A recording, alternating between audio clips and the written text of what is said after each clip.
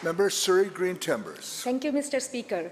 We all know or have heard of local organizations which have a real and tangible impact in the lives of families and whose services have become vital for many in our communities. Organizations which are essential part of the social fabric of a city and its people. For almost four decades, Surrey Food Bank has been one such organization. What started as philanthropic food cupboard by a group of local churches in response to economic decline in 1981 has now become an 8,000 square feet warehouse and a fleet of vehicles serving over 14,000 people a month.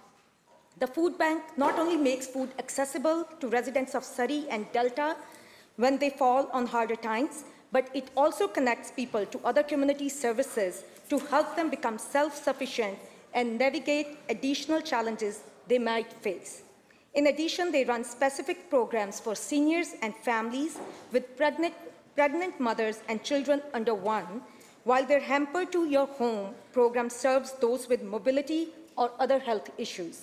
The organization runs on donations of food and money from individuals and organizations, but at its, uh, but, but at its heart are the selfless efforts of its dedicated volunteers and staff, whose primary objective is serving the people of their community.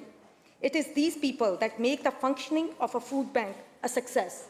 Surrey Food Bank is the epitome of an organization that is of the people and for the people.